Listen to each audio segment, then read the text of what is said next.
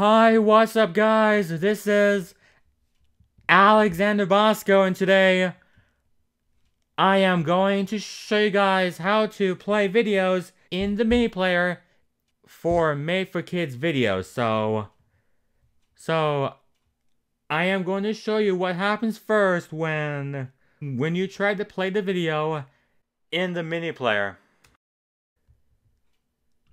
and it doesn't work. So, so here's what you gotta do.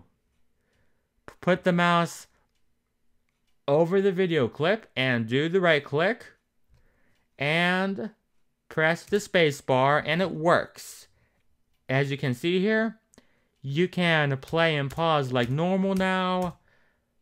You only can do that with the space bar, not the mouse if you try to do it with the mouse, it brings you back to the watch page here. As you can see here,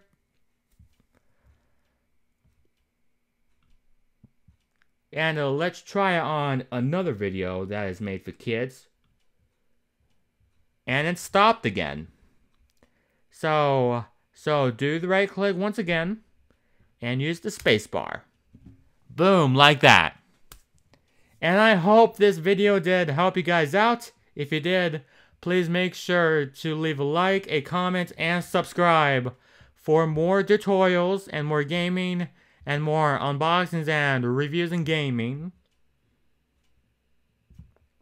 And please subscribe if you are new here, and leave a comment and a like. And please don't forget to turn on the upload post notifications so you guys don't miss a video.